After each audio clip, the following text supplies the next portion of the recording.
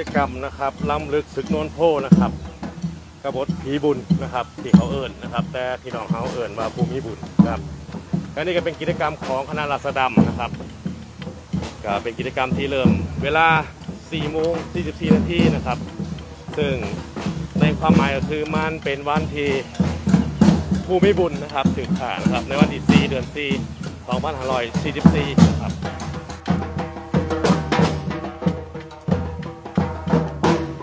คำว่าขบฏเนี่ยเป็นคำที่รัฐยามในตอนนั้นนะครับ เป็นคนกำหนดให้นะครับ พี่น้องไทยบ้าน เป็นวัฒนศาสตร์ที่ถูกเฮ็ดให้พวกเขาบรรลุนะครับว่ามีสอนในระบบการศึกษาไทยนะครับทางทั้งๆที่เป็นเรื่องที่เกิดขึ้นว่าโดนนะครับเพิ่งแค่ร้อยยี่สิบปีนี่เอง